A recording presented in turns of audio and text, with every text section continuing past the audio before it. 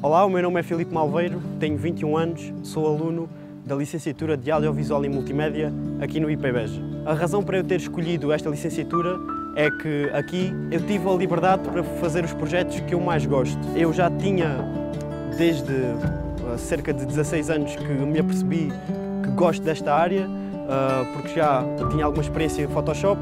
já era entusiasta da fotografia e do cinema e depois acabei por ingressar no curso profissional e ao sair desse curso, ao acabar o secundário, eh, decidi vir para o Instituto Politécnico de Beja. A razão para tal é que é a universidade da minha cidade,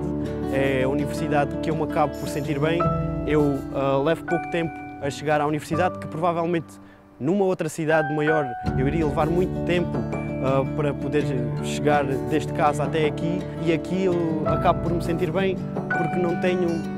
grande parte das preocupações que eu talvez teria numa grande cidade e aqui no Politécnico, mesmo a nível de projetos, as coisas acabam por fluir melhor.